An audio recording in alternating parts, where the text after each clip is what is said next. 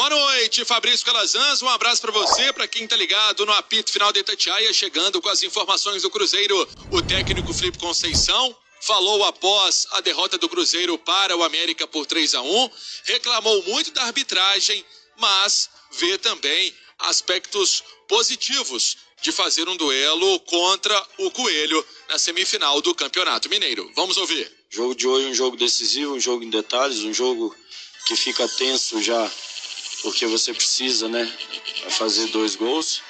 E, e logo de cara no primeiro tempo você tem um, um pênalti que não sei nem se vale a pena mais reclamar de arbitragem, viu? Eu sou um cara que nunca reclamo de arbitragem, mas fica a minha pergunta: vale a pena reclamar? Porque tem gente que reclama e a gente vê que dá resultado, né? É, às vezes é, é, me parece que é, é mais importante você ter um comportamento adverso na beira do campo, pressionar a arbitragem, do que você ter um comportamento ético de orientar sua equipe e em contrapartida você é prejudicado na partida, são faltinhas, é pênalti que ah, foi falta, mas quantos lances dentro da área acontecem? Enfim, o segundo gol, o segundo pênalti, a bola bateu no sovaco, eu não sei se é pênalti, se não é, também é outra pergunta que eu faço.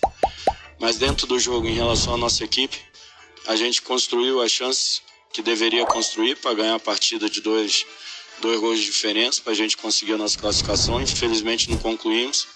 E o adversário também, quando teve a chance, muitas delas criadas pelo juiz, conseguiu concluir o gol. E o último gol ainda teve falta no Cláudio. Enfim, é, jogos decisivos que são, dec são decididos em detalhe, a arbitragem não pode contribuir tanto para um adversário. Palavras então do técnico Felipe Conceição com a gente no apito final da Itatiaia. Calazans, Cruzeiro que está fora então da decisão do Campeonato Mineiro. Jogadores ganharam folga amanhã e na terça-feira voltam aos trabalhos na Toca da Raposa 2 na quarta.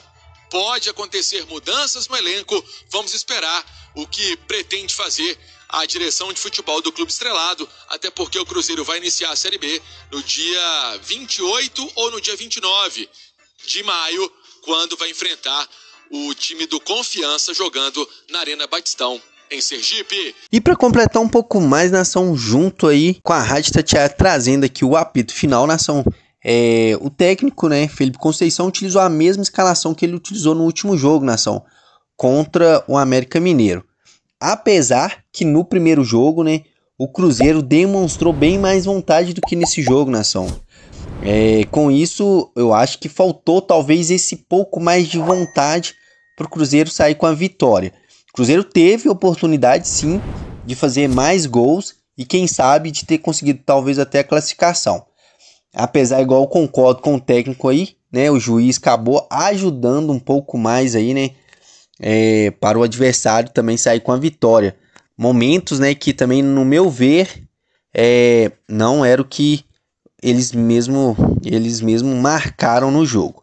Mas a escalação que o técnico utilizou na ação para este jogo foi é o Fábio, né?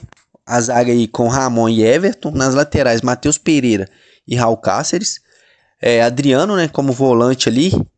É, lá na frente, utilizou Matheus Barbosa, Rômulo, Bruno José, Rafael Sobes e Ayrton. Essa foi a escalação do Cruzeiro. Com isso, também teve a estreia aí do atacante Bisoli na ação. O jogador estreou, fez a sua estreia com a camisa do Cruzeiro. Entrou não conseguiu né, é, se destacar na partida tanto, mas tentou algumas oportunidades, mas não conseguiu concluir em gols.